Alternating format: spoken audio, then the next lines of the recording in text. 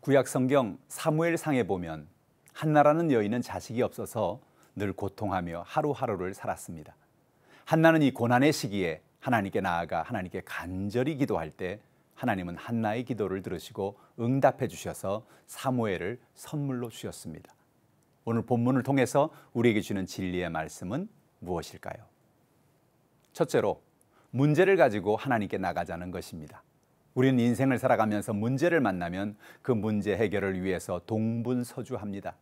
오늘 본문에 나오는 한나도 병원도 찾아가 보고 약도 먹어보고 좋다는 것은 다 해보았을 것입니다. 그러나 아무리 해봐도 방법이 없었습니다. 한나는 어느 날 마음속에 한 생각이 다가왔습니다. 아, 그래. 내가 하나님께 기도하지 않았구나. 하늘과 땅을 지으시고 인간의 생사화복을 주장하신 하나님께 나아가 간구하여 하나님 주시는 응답을 받아야겠구나 하는 결단을 하게 되었습니다. 한나는 고난 가운데 하나님께 기도하여 결국 응답을 받게 되고 사무엘을 낳게 되었습니다. 나중에 사무엘은 성장하여 이스라엘의 위대한 선지자가 되었습니다. 한나가 자신이 존경받는 사람 사무엘을 낳게 될 것을 알았다면 무슨 걱정이 있었겠습니까? 문제는 사람들은 내일을 모른다는 것입니다. 한나도 그의 삶에 어떤 일이 있을지 눈에 보이는 것이 없고 손에 잡히는 것이 없어서 답답해하고 하루하루를 지옥과 같은 고통 속에서 살아가고 있었던 것입니다. 우리는 문제를 만날 때 하나님께 나아가 간구합시다. 오늘 우리는 기도의 사람이 되어야 합니다. 한나가 기도하여 자녀를 낳은 것처럼 우리도 기도의 어머니, 기도의 아버지가 되어야 합니다. 자녀를 위해서 하나님께 나아가 간절히 기도하고 그래서 하나님의 놀라운 기적을 만나는 저와 여러분이 되시기를 주님의 이름으로 바랍니다. 둘째로 눈물의 기도는 기적을 가져옵니다. 사무엘상 1장 10절에 이런 말씀이 있습니다. 한나가 마음이 괴로워서 여호와께 기도하고 통곡하며라고 말합니다. 얼마나 답답했던지 한나는 하나님께 나아가 마음을 쏟아놓고 통곡하며 하나님께 기도했습니다. 자신의 마음을 열고 자신의 모든 문제와 아픔을 하나님께 내려놓고 기도한 것입니다. 우리는 언제 통곡하게 됩니까? 억울할 때. 내 힘대로 안 될 때. 우리는 통곡하며 기도하게 됩니다. 그때야 하나님을 진실하게 의지하고 간구하게 되는 것입니다. 성경 열왕기하 20장 1절 이후에 보면 히스기야 왕이 병들어 죽게 되었습니다. 그때 히스기야 왕은 하나님께 통곡하며 기도하였습니다. 열왕기하 20장 2절로 3절 이렇게 말합니다. 히스기야가 낫을 벽으로 향하고 여호와께 기도하여 이르되 여호와여 구하오니 내가 진실과 전심으로 주 앞에 행하며 주께서 보시기에 선하게 행한 것을 기억하옵소서 하고 히스기야가 심히 통곡하더라라고 말했습니다.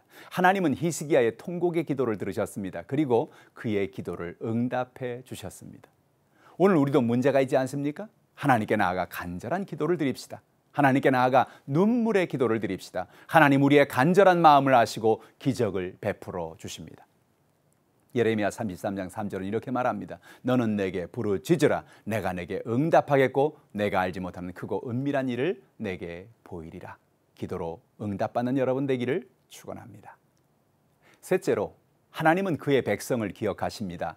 오늘 본문에 보면 사무엘상 1장 11절에 이런 말씀이 있습니다. 서원하여 이르되 만군의 여호와여 만일 주의 여종의 고통을 돌보시고 나를 기억하사 주의 여종을 잊지 아니하시고 주의 여종에게 아들을 주시면 내가 그의 평생의 그를 여호와께 드리고 삭도를 그의 머리에 대지 아니하겠나이다. 한나의 기도를 잘 살펴봅시다. 하나님이 주의 여종의 고통을 돌보시고 나를 기억하사 주의 여종을 잊지 아니하시고라고 말하고 있습니다. 한나는 하나님께 자신을 기억해 달라는 것입니다. 하나님이 나를 기억하시고 그래서 내게 아들을 주신다면 나는 하나님께 그 아들을 주의 종으로 드리겠다는 것이지요. 하나님은 그의 백성을 기억하십니다. 하나님은 오늘 우리를 기억하십니다. 우리를 기억하시고 우리의 간구를 들어 주십니다. 한나는 하나님이 아들을 주시면 아들의 머리에 삭도를 대지 않겠다고 했습니다. 그것은 아들을 나실인으로 드리겠다는 것입니다. 나실인은 하나님께 드린 사람입니다. 이런 고백이 쉬웠을까요? 어떻게 해서 낳은 아들인데 그 아들을 하나님께 드리겠다는 것입니까? 그러나 한나는 자신이 아들을 낳을 수 있기만 해도 그래서 사람들에게 자식도 낳지 못하는 여자라는 손가락질 당하는 것에서 벗어날 수만 있다면 그 아들을 하나님께 드려 주의 종으로 드리겠다는 것입니다.